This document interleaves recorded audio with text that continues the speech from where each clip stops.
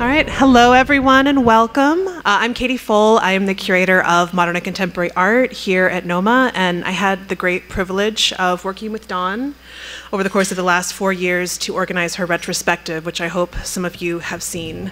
Dawn, as I'm sure many of you know, I'm looking around and seeing lots of friends and familiar faces, is one of Louisiana's most vanguard artists when it comes to grappling with issues of the Anthropocene, with climate change, thinking about social, cultural, and political divisions, and ultimately this increasing gulf or divide between humans and the earth itself. Um, over the course of planning this exhibition the last four years, we've spent the vast majority of this process, basically feeling like the world was falling apart. Facing first COVID um, and then Ida um, on the anniversary of Katrina, and really seeing you know, so much of the work that Dawn has done since the 70s increasingly begin to reflect upon the reality that we're all living through. And I think it's it's been so important and rewarding to see so many people respond to this exhibition and I think really to offer the exhibition is really a space for people to be and to work through um, many of the issues and questions that we're all facing. This exhibition surveys 50 years of Dawn's incredible career from the 1970s till now, recreates uh, vast bodies of work that were destroyed in the artist's studio during Hurricane Katrina, and hopefully really gives everyone a chance to appreciate the full breadth and scope of Dawn's work since the 70s for the first time. We are publishing a exhibition catalog with the publisher Hatje Cantz to be distributed internationally, so please stay tuned for that. Um, and you know, before I turn it over to Dawn, I just want to say a huge thank you to her. It has been quite the ride. Um, for those of you who have not seen the exhibition, um, spoiler alert, if the world is in fact ending, and it increasingly, as you walk through the show, seems like it may very well be, um, I think Dawn is the artist we want to ride with together. So thank you, Dawn, for everything. Um, in addition to throwing the best parties in town. Um, Dawn has exhibited her work all across the world um, at the Whitney of Museum of American Art, at the Hammer Museum, the Aldrich Museum of Contemporary Art, the Trans Art Foundation for Art and Anthropology, and at Mass MoCA and now at NOMA. Um, she's a 2013 Robert Rauschenberg Foundation Artist in Residence, and 2015 Artist in Residence at the Tulane University Center for Biomedical Research. So I think we're all in for a treat tonight, um, hearing about some of Dawn's interests and preoccupations and great ideas. So I've turned the floor over to Dawn. Thank you so much.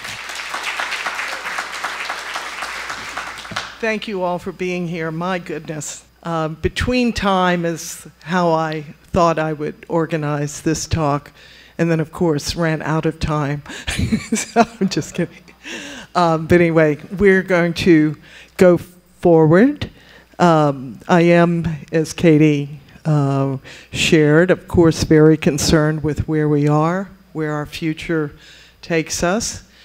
I think we are at such a moment in time um, that we have a few last opportunities to maybe change the course.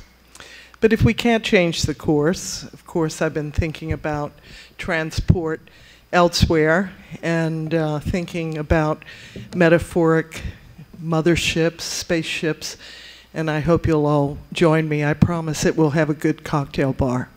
I wanted to dedicate this lecture to my first art colleague, Martin Green, who I grew up with down Esplanade Way, and uh, first studied art with under Laura Adams, who came in from New York, wanting to live next to the Degas house. And uh, Martin and I helped usher her into a room, and that began several years of art lessons. Martin is the first artist I know to paint outer space, and uh, I fell into that with him. I also dedicate this lecture to some great pals who took flight this year.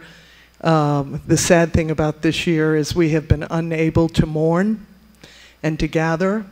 So anyway, here's a hats off to Diego Cortez, Bill Fagaly, to Ellen Johnson, and to Jean Chimino, and I know I have another friend up there, Keith Saunier, how dare I forget. Um, anyway, here's to all the loss this year, and hopefully next year we can do them proud. All right. So, uh, 13.8 billion years ago, uh, the show began. And it began, of course, with the Big Bang, we're told. And uh, about 4.5 billion years ago, our solar system took form, an infant solar system, comparatively. And then about 4.2 billion years ago, we have the oldest rock that we've been able to discover in Canada, and the newest big rock is in the Great Hall in the niche. Then, about two million years ago, we start walking around or crawling. And this is maybe uh, belongs somewhere else in the show, but I want to talk about the alpha omega, how the end of time rejoins the beginning of time. And uh, that big meta, that uh, paradox, is it not a paradox that uh, the yin yang, the alpha omega, the beginning and the end? And uh, that doesn't give me much comfort all the time, but uh, it's there and it's wise and it's true. And uh, in that alpha omega cycle, it's interesting that we are born of, we are made chemically, uh, our materiality, we're born of stardust, right? And in the end, we decompose and we return to the stars. It gives us a kind of a unity with what's up there, even though it's a bit daunting sometimes. If you're in the Great Hall, you'll hear the voice of Anne Sullivan, who's a friend of mine and a, you've got one of the most soulful voices. And uh, we selected some poems, uh, part of the Souvenirs of Earth project. And we're not just taking visuals, we respect and love and treasure the spoken word. So these are some of the poems that you'll hear out there. I've titled the whole series Because I Could Not Stop for Death. Nothing gold can stay. Nature's first green is gold.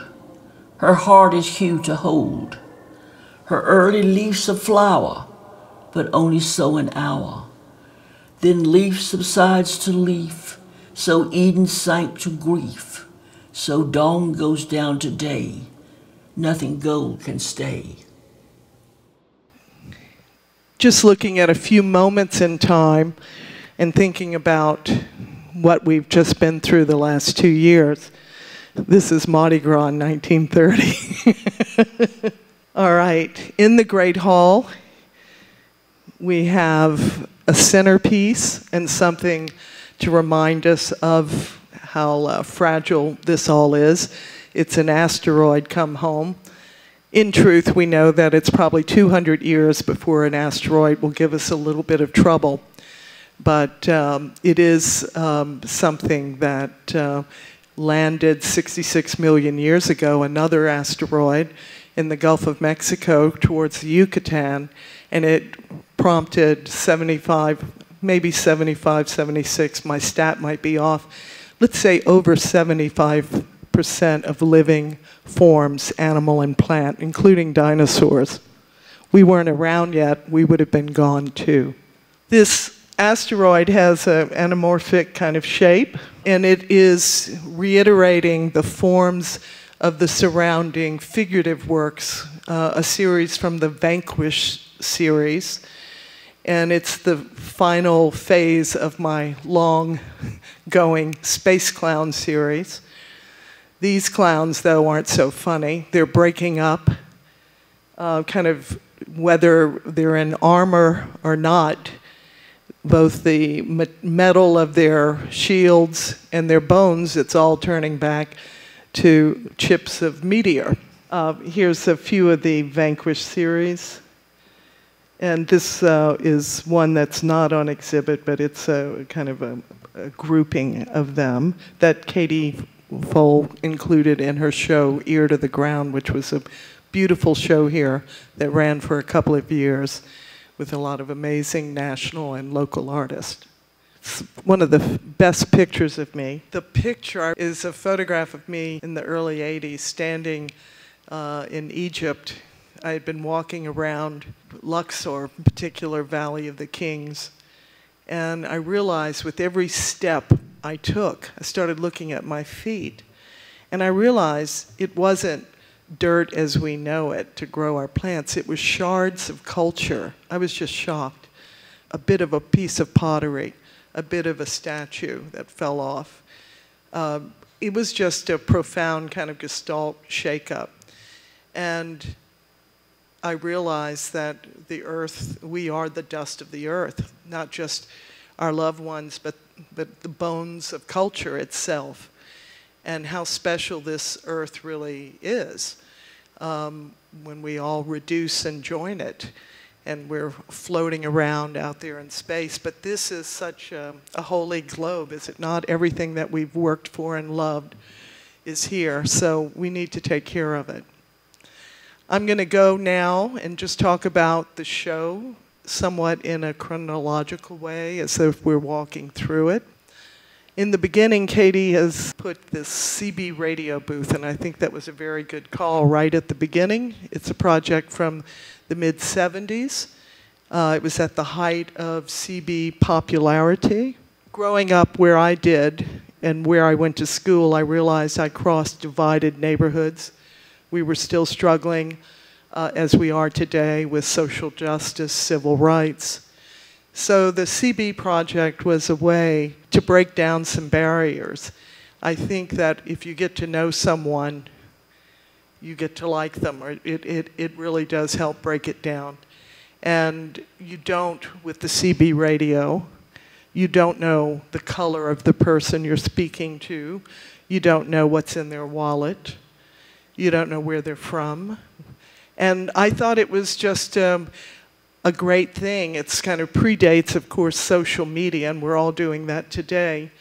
But um, the project has a few warts, certainly, but I'm very proud of the project because it worked, and we had so many people participating. And in the exhibition, you'll see photographs of people throughout the three parish area. Then when you enter the exhibition further, there's a video piece called The Drummer Boy.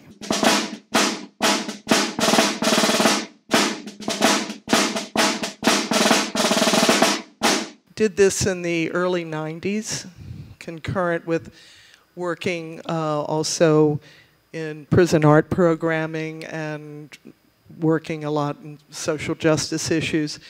And particularly in working in the prison, I realized that all the young people I was working with, what they really wanted, it wasn't a pair of shoes. They wanted self-esteem, they wanted respect, and they wanted their glory. And it made me think of all the warriors throughout all the ages and kind of the burden we've put on, on, on the male sometime to join the, join the fight on some level.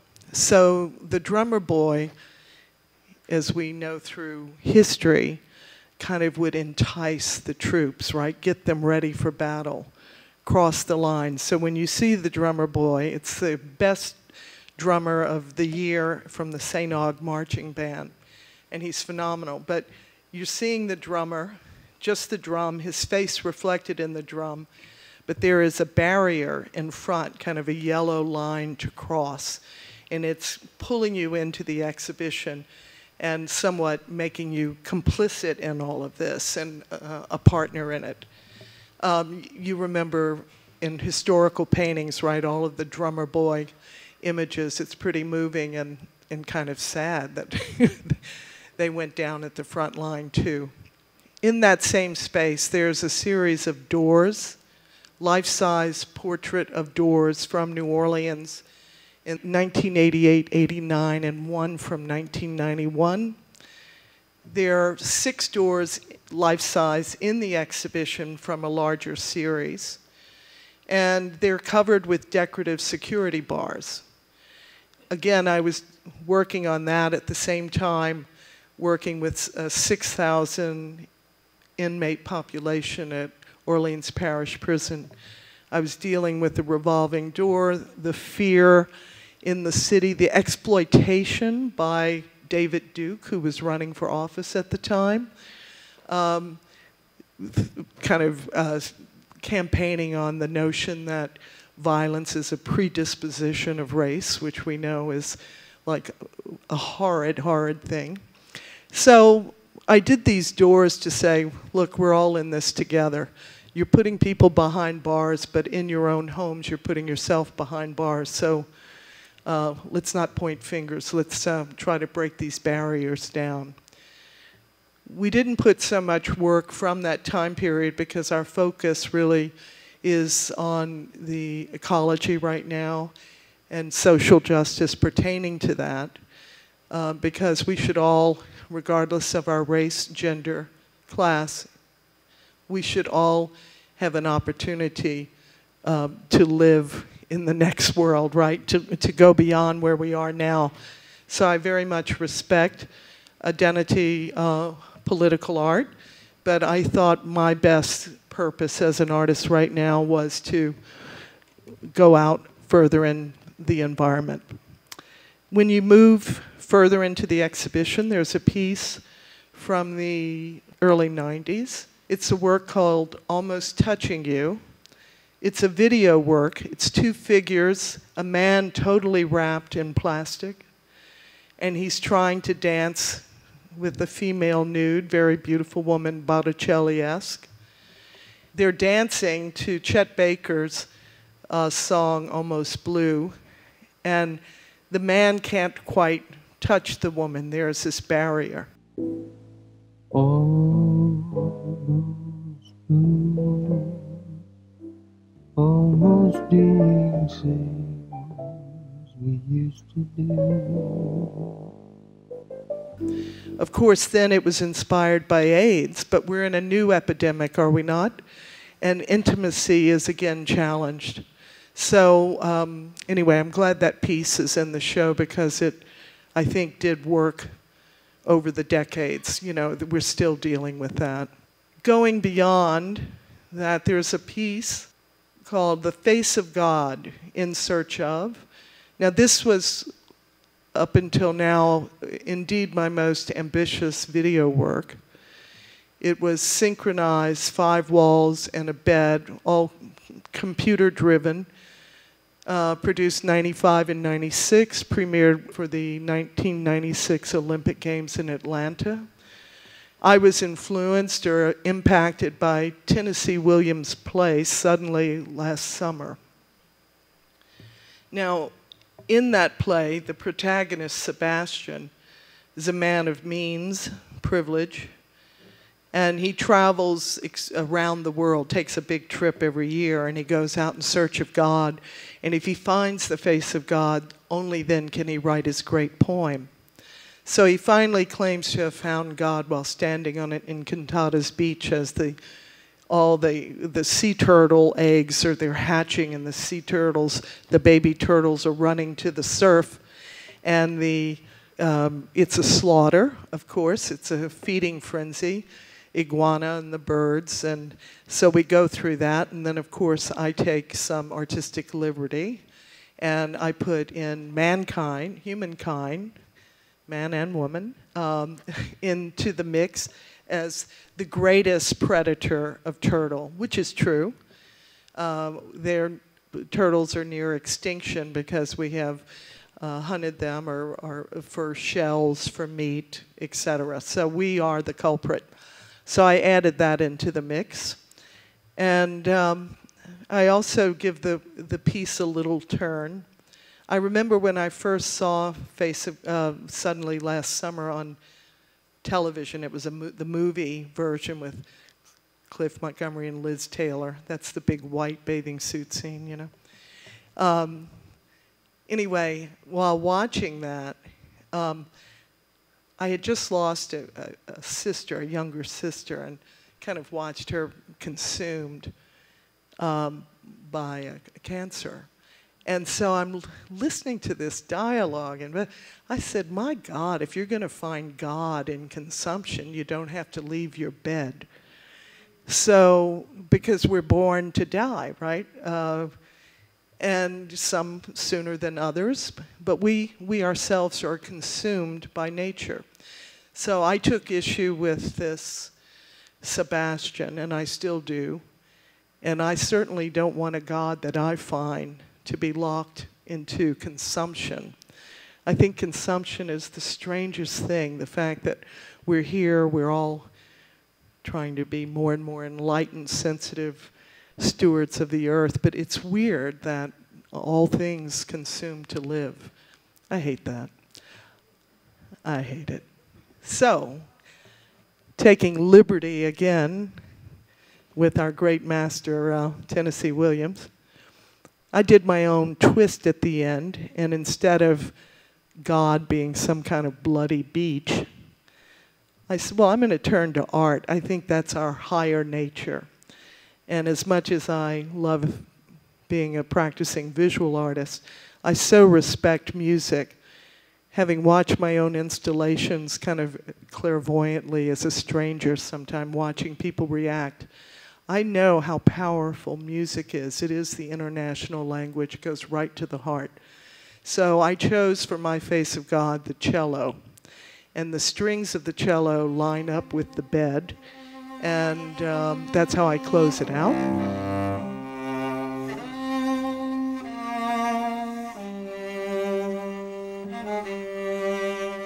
I thought it was ironic, right? I opened the piece that it's open to the supulent, to the beauty of nature, the, the surf coming in. It's, it's kind of benevolent. But at the end, if we're struggling for our lives, we end up often in a hospital and we in a sterilized room where we shut nature out and we're in this kind of cold box. I think it's more in vogue now. A lot of people just want to go home. Thank you very much. But there is that that precedes the final cello. And the last thing I'll say, it's an original score for the work. Uh, his name's on the wall label. it was, I'm forgetting it at the moment, but he was the lead cellist for the Miami Symphony Orchestra, who I just met in a coffee shop and talked into this. So I think it's a beautiful piece of music. There are, are Facing the Face of God, some other works I did in the, in the mid 90s, starting to get concerned there about the environment. It's a series called Postcards to Teddy Roosevelt while thinking of Yves Klein. There are uh, landscapes out in the West, particularly, that didn't quite have the good fortune to fall under Teddy Roosevelt's National Park Plan thus the postcards to Teddy. And Yves Klein comes in because, you know, I'm a bit audacious, so I stretched out my hands like this to take flight over these distressed landscapes, mimicking or paying homage to Yves Klein, his leap from uh, a window into the streets of Paris. So um, that's the reference there, but I'm uh, also pass by uh, the, there's a piece from the vast array, the, the sound satellite pieces, and there were cows kind of grazing in front of this, these huge, huge satellites. Uh, there's also a video piece of sheep grazing in front of the main, main power line that feeds part of the West. And then I came upon, I stopped in my car, get out to film some clouds. And there was a smell, there were flies, and I turned around and it was kind of, you know how we have the romanticism has its tragic moments, right? The horse in the bed, or, you know, there's a, there's a bit of darkness to romanticism in landscape too. And so anyway, there was this um, gorgeously uh, composed deer that had been hit by a car. And, I, and it was off the side of an interstate, and the cars are coming back, passing it. And um, I thought it was, for me, a quintessential American landscape in the 1990s, kind of coming out of the Hudson School and the painter, uh, you know, very much American um, landscape painters. So there's a, a, video of that, and the, the still works of that aren't in the show. Uh, can't put it all in, there's plenty there. But uh, then moving further down that corridor, we get to the Katrina moment, right? Even if you didn't live here, it was a media event, international media event. You understand the significance. It was kind of um, really horrific with the entire city, most of the city underwater, lives lost, properties destroyed. I think a lot of us are still trying to rebuild a bit from Katrina. So um, I, I took a hit too, but I don't, uh, I didn't, uh, I was in it together. You know, there was a, a collectivity to it, so I didn't stew in any kind of pity. Um, so uh, the first experience I had, I went out, I was on the Mississippi Gulf Coast. I took the wrong turn. I was either going to go to Houston or to Pass Christian, a little on the other side of the track. And uh, bad choice because ground the the storm kind of coming to New Orleans and then it jagged to the east, right? Um, actually, I was closer to Long Beach area, but it was close to ground zero. And what I saw there, New Orleans was horrific, of course, with the flood and the loss of lives. But what I saw there, it was Hiroshima, uh, Hiroshima, Nagasaki. It was total splintered, everything. You didn't know where you were.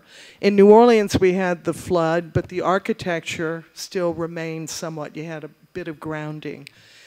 But it was a, a, a real startling experience for me to see that. And I was standing, uh, I was doing a long walk, and I got to where a shopping center had been, and I was standing uh, 18 inches or so in shattered glass.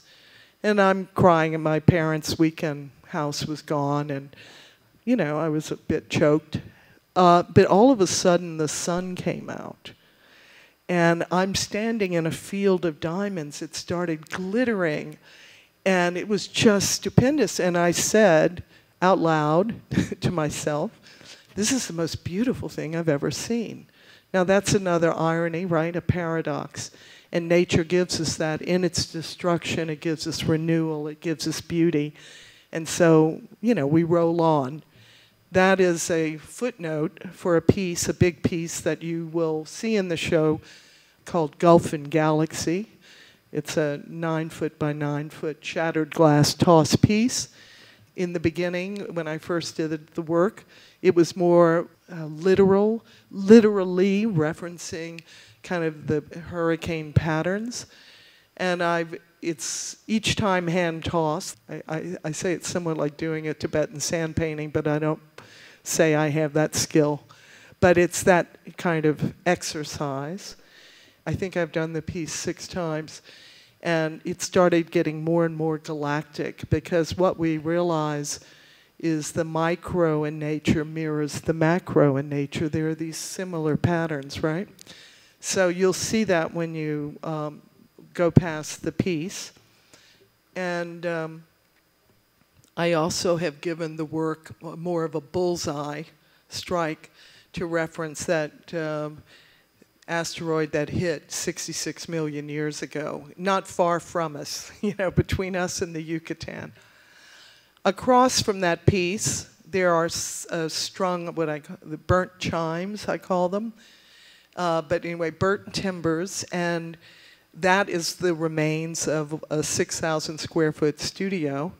Again, you know, uh, I had not had much uh, self pity with the Katrina experience, but when my studio burned down a few months after Katrina because of politics. The mayor at the time busted a lot of people in, and the neighborhood didn't have water to fight fires. It didn't have gas checks yet. It was off limits, you know. So I got, I said, well, I can handle the bang up from nature, but the folly of politics is a hard pill to swallow. Anyway, I got over it, and there's, uh, I do Hope you'll enjoy the peace of these suspended timbers. As you know, in this uh, city, we had flood waters that reached different heights in different neighborhoods.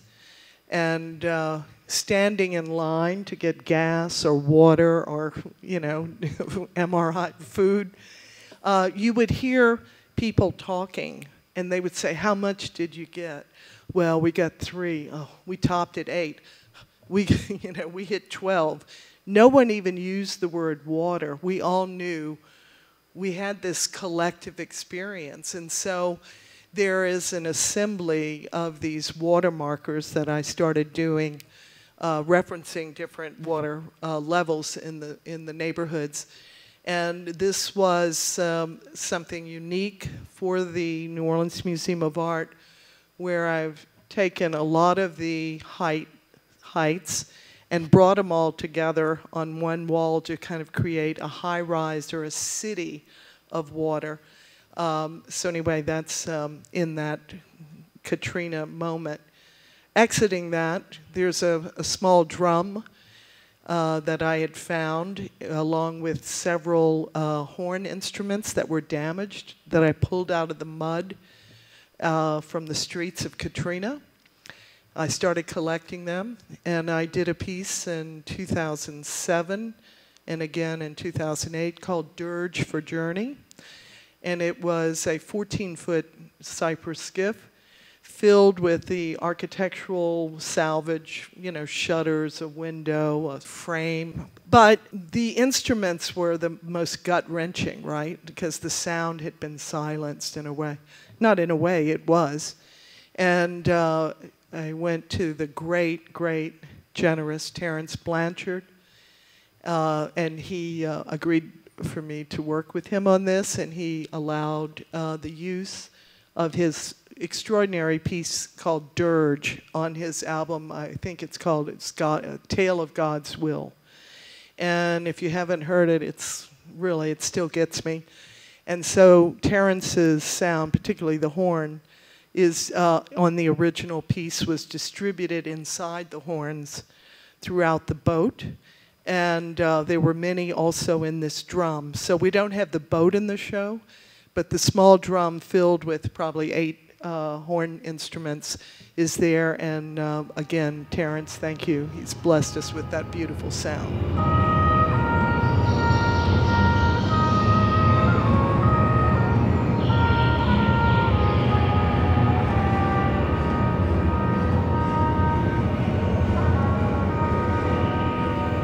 Just behind that, we're getting a little bit out of Katrina.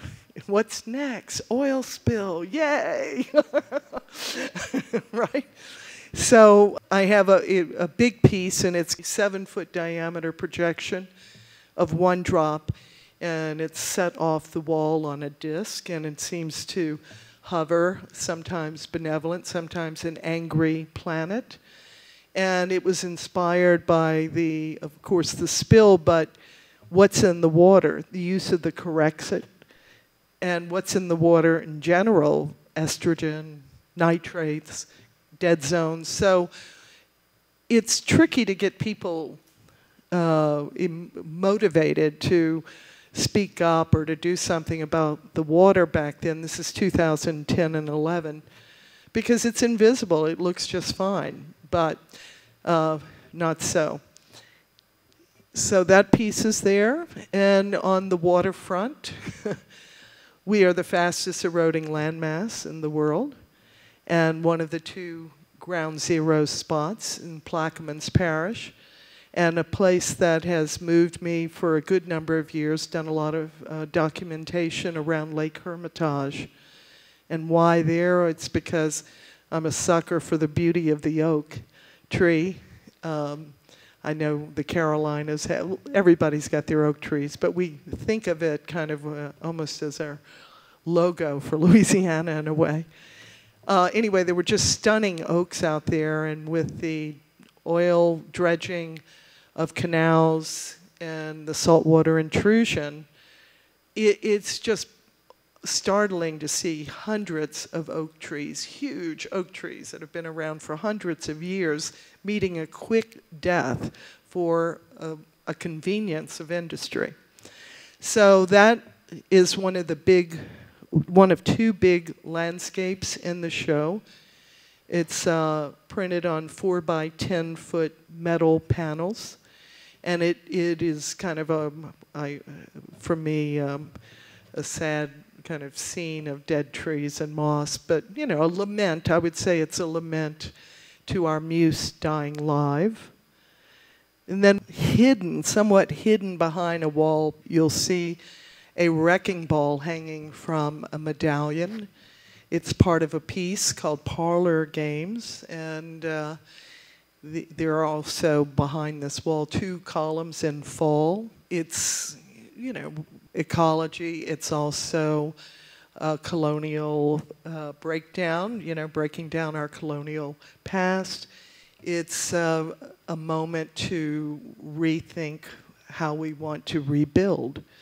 And part of that cluster is an aluminum mantle with um, aluminum objects, kind of kitschy souvenirs on top of it. And I started, this is kind of at the advance or part of the mothership series where I said, well, we can't take originals with us. Uh, we're going to have to take small reproductions. And also, what's going to make it through the barriers of space? Our little wood objects might burn up. So I, I said, okay, this mantle that is somewhere, you know, that fabulous room in 2001 Space Odyssey, right? That gorgeous. I wanted to move in um, with the glowing floor. I can see, uh, anyway, it's part of my own room, this, this aluminum mantle and more, more metal and less soft fabric. When you walk past the mantle, you see this big ring, 30 foot ring, that we fit into the museum.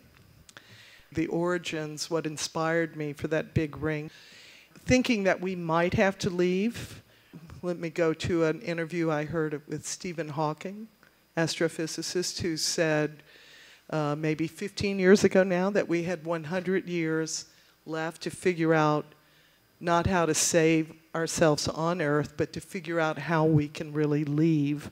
That by 2045, the resources uh, to sustain human life are going to be so compromised so, I, you know, I've been operating with that what if year, 2045.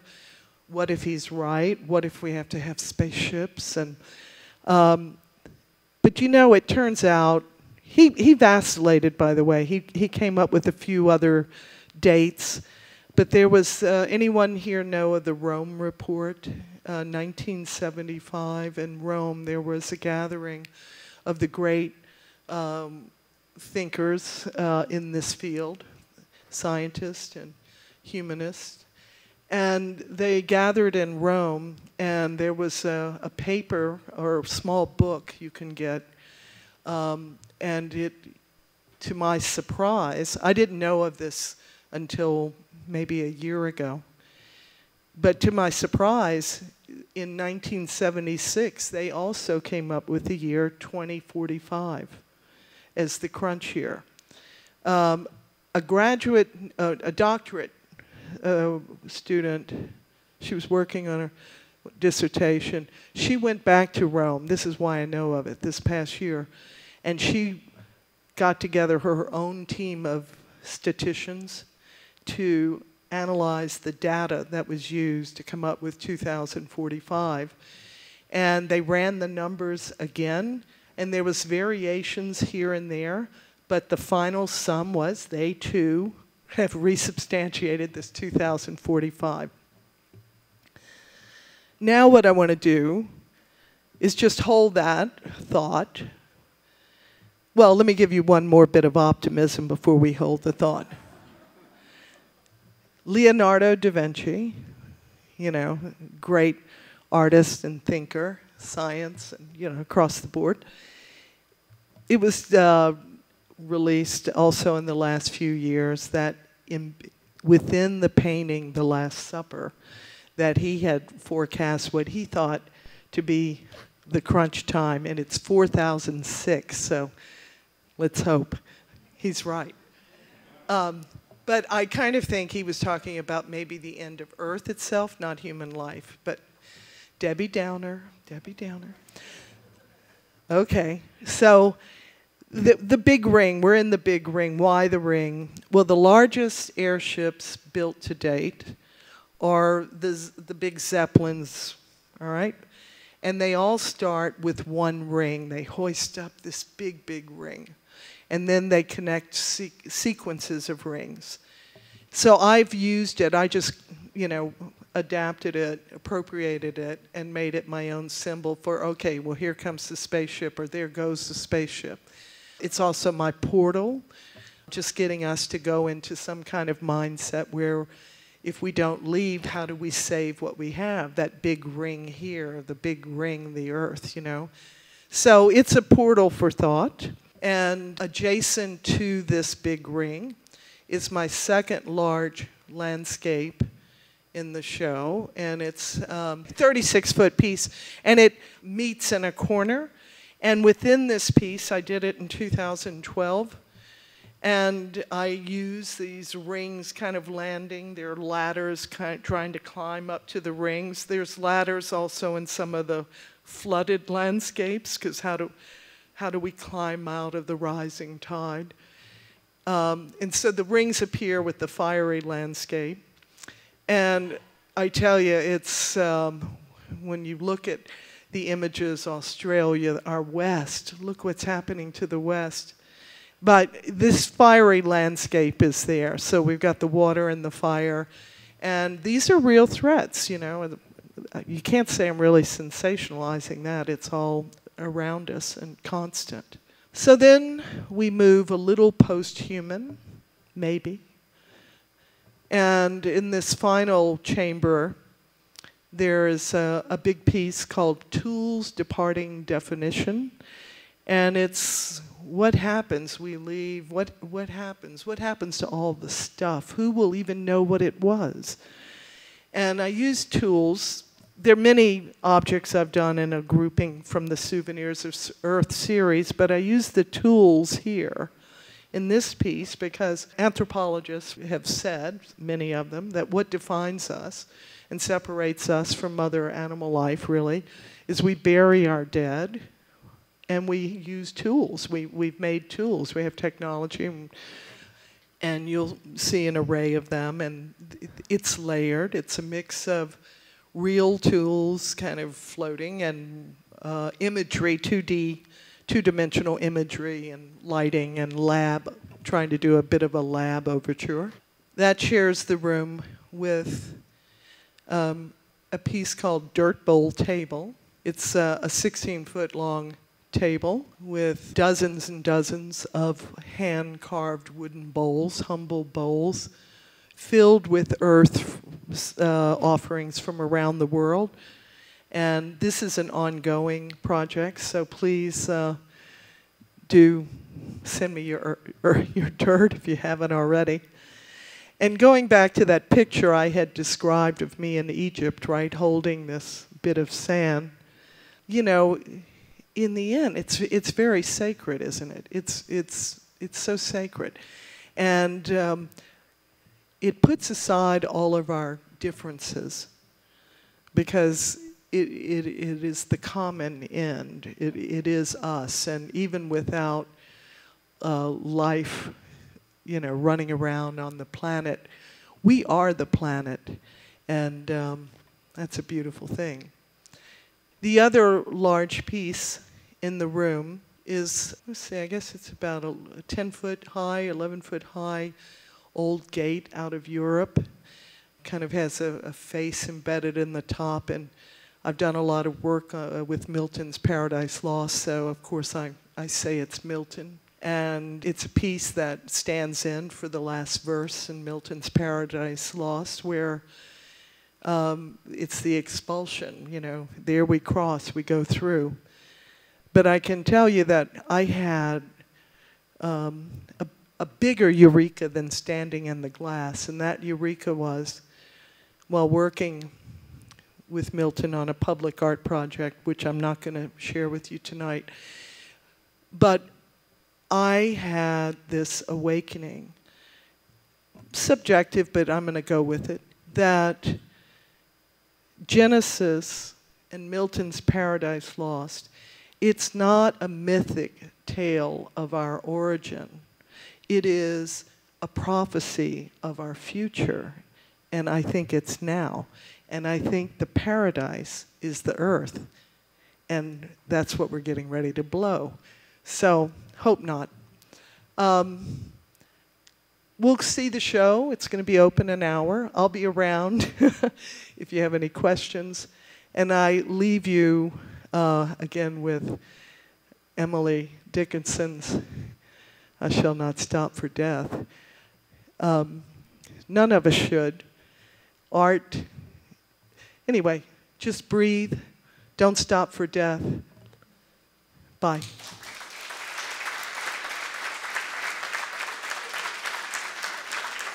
I was an art student, of course, and a painter, and then I got more and more interested in what mass communications would do for shaping our future and the potential of communication systems as the glue, as, as maybe a media for new art. So I started doing some work in that area um, and really paid attention uh, to things happening through media. And I was shocked. We had just entered the 1991 Gulf War, the beginning of January, and I was shocked, going back to that word, that uh, they decided here in the US to go ahead with the Super Bowl game January 27th, 1991. I said, My God, we're, we're bombing people. I mean, this is very serious, and we're going to have this this game. And so I said, well, let me watch because I, I like to watch the commercials. Well, because it, it, it shows you, doesn't it tell us something like this is the most money being spent on this product and we're trying to uh, influence you? Okay, so, but I tuned in and I was just shocked. I immediately said, oh, this is, anyway, I got all the film I had. I made a few calls. I was living in the French Quarter. I called any photographer I know, said, please just bring over all your film. And I probably shot, you know, an image every two seconds. And I caught on, but pre-digital, on real film, this kind of mix-up that the network had they went, you know what a super is, is when they put a graphic up in front of an image on network news. So they had the Gulf War Super Bowl. It's and Whitney Houston is singing, and I've got it in real celluloid, you know. So that was amazing. And then um, the graphics at the time, which are still used, like if you want to say, oh, well, the the quarterback got blitzed and they, the ends went here and they went there and there's a little chalk kind of scribble on the screen to show how, it got the, how he was sacked or how somebody outsmarted a, did a play. And then they'd cut to the war and they said, well, our troops went here and they were using the same kind of graphic pattern. I went, ooh, okay. Then the smart bomb was very popular, popularized in that war, right? So they would have a news break and show the latest bombing with the smart bomb hatch, the crosshairs. Then it cut to a pharmaceutical ad, and all of a sudden, the smart bomb hatch was killing the pain. Pain was being exploded like a bomb. Okay. Then um, there were news, news, news uh, break record oil profits. Record oil profits, okay. And then the next thing was, ooh, the Persian Gulf oil spill. And here you have these gorgeous birds drenched in oil dying live on television. It was uh, pretty tough to handle. And then cars, then the coaches, then General Schwarzkopf. Then the smart bomb hatch appears behind George Bush's. Okay, we get to halftime show, and then it's Disneyland Castle, and lots of kids running around with the American flag. I said, "Is this Leni Riefenstahl? Is this Triumph of the Will, or what?" You know, it, it was so heavy propaganda. I thought, and so then we'd cut from this tinsel kind of creation of the Disneyland castle on the, on the football field. And they went to another bombing and they were afraid the ziggurat was going to get bombed. And there was this other archaeological museum. So it became also a battlefield between the youngest nation and the oldest nation. And it goes on and on and on. Uh, we just have a small a few slides here, but I'm glad it's uh, referenced in the show. Thank you.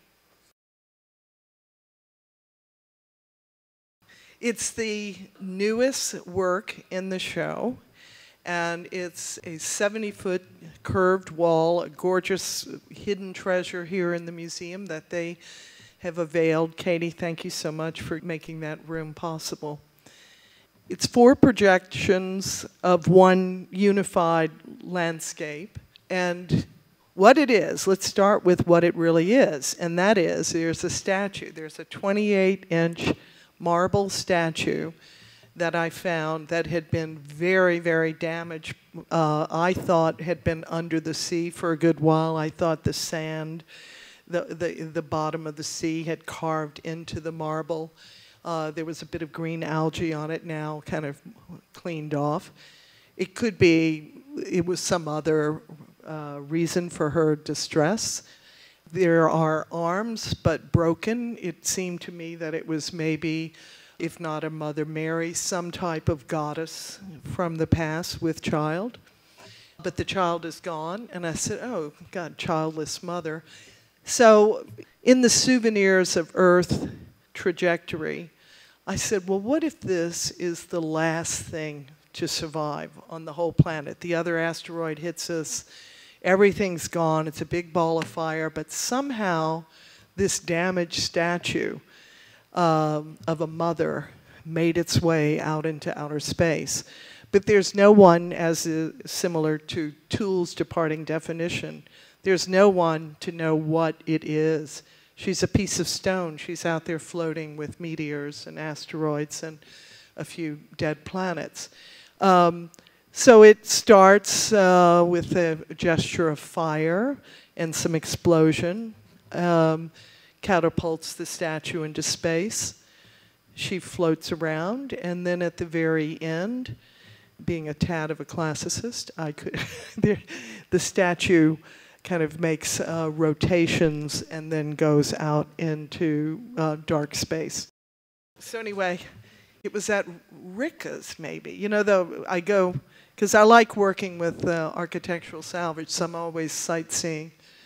And there was this, they had uh, plaster statues everywhere, and you know, there was the real Joseph, the real Mary, the Christ, and uh, you know the story of St. Expedite? Anybody? I'm not going to tell you now, but next talk. All right, so there are these statues around, none of them too spectacular, uh, but maybe a hundred of these plaster saints and plaster Marys. And there was this that can't stand up on its own, and it was lying on a low table. And it, I just got, whoa, you know, just it moved me immediately.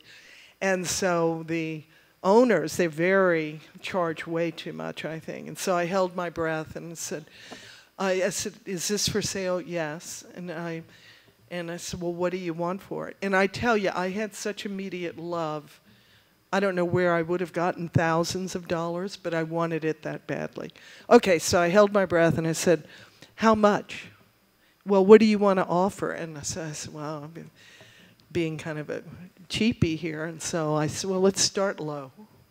So I said, $40. 40 dollars I offered. And she said, Oh, yeah, take it. I want it out of here. It's giving me the creeps. So now she's the star uh, of this piece. And, uh, you know, it's been going on over three and a half years. Like, uh, is this really the piece you want to feature for the end of time, the post human experience? And I stand by it, damn yes, yes. So.